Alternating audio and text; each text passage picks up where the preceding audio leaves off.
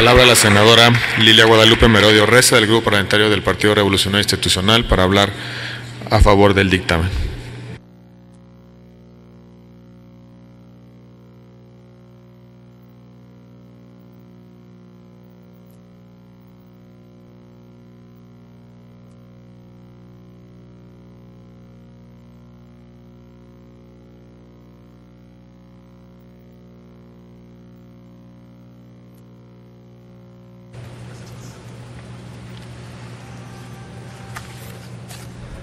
Con el permiso de la presidencia de la mesa directiva.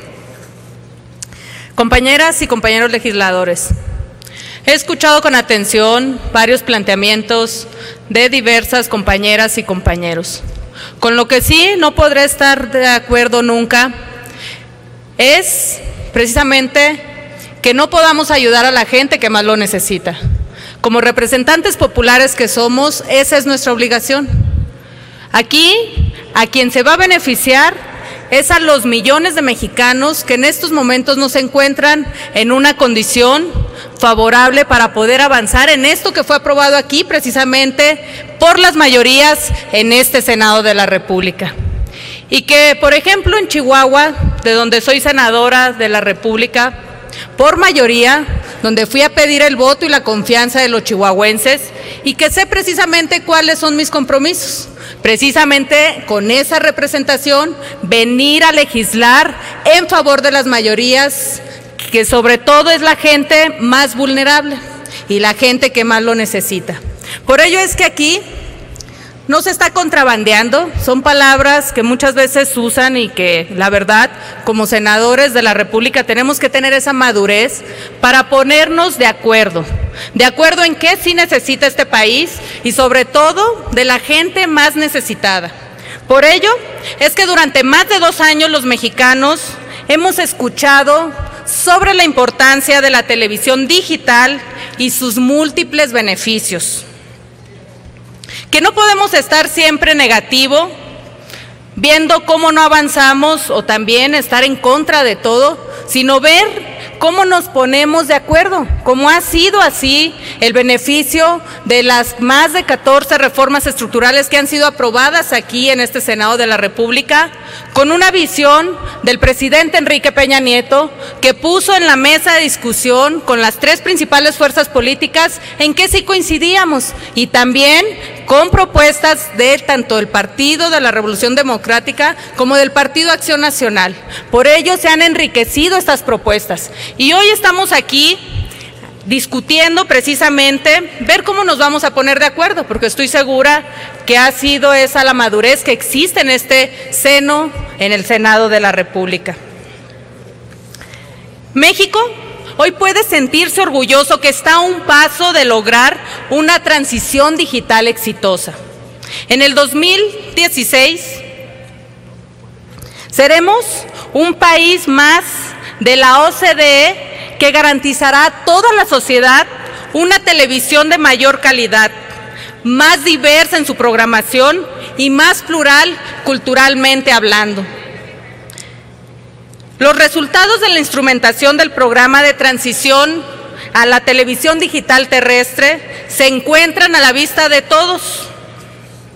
Al concluir el presente año, la Secretaría de Comunicaciones y Transportes cumplirá con la meta de entregar 9.4 millones de televisiones digitales, principalmente en los hogares de menores ingresos. Hay en operación un total de 510 señales en formato digital, beneficiando así a casi 100 millones de mexicanos. El gobierno federal ha cumplido con la tarea de digitalizar al 100% todos los medios públicos federales. Hoy, nueve de cada diez mexicanos tienen acceso a una televisión gratuita de calidad y alta definición, a una oferta mayor de canales de televisión y programación y acceder a servicios interactivos. Pese a los esfuerzos realizados, no se ha logrado la transición digital en muchos estados, entre otras razones, porque los concesionarios y permisionarios no han digitalizado sus señales. Hay 325 estaciones analógicas complementarias de baja potencia que no han solicitado la autorización para transmitir señales digitales. Existen 33 permisionarios de alta potencia que al día de hoy no han transitado en la televisión digital terrestre, especialmente por falta de recursos. Sabemos que estas dificultades no son cosa menor y que requerirán de acciones urgentes para solucionarse.